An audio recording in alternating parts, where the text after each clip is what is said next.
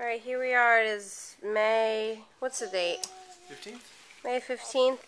We're getting ready for family vacation at Kalahari, so we had to order some life jackets.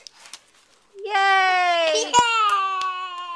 Matching life jackets, and the boys are so excited to put them on.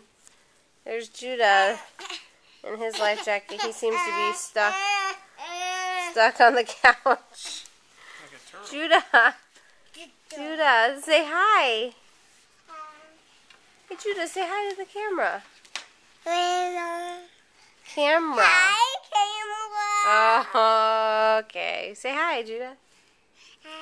Good boy. I like your guys' life jackets. I can't wait to see you swimming. Say bye-bye. Bye.